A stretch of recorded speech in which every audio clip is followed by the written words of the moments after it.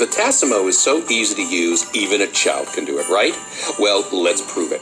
This is my nephew Jimmy. He's going to give his mom a Tassimo as a gift. I told him to try it out first, for science. Uncle Charlie, what's a Sassimo? It's Tassimo. It's a single serve beverage brewer. Why? Because then you can make all the different drinks you want, one cup at a time, like this Cadbury hot chocolate we're about to make. Why? Because it's delicious. Why? Anyway, let's see how fast Tassimo can brew up a hot chocolate next to Jimmy here with a Tassimo. Put the thingy in like I told you, Jimmy.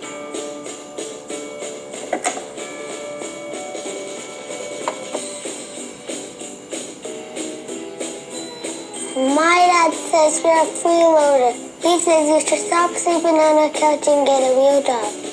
Jimmy, what a jokester. Uh, looks like your hot chocolate's almost done. What's a freeloader? Well, look at that. Both Tassimos are done brewing at the same time. It really is so simple to use, even a kid can do it. He says being an artist isn't a real job. It's just being a hippie. Tassimo wins again. It could be because it's the only home brewer with barcode technology.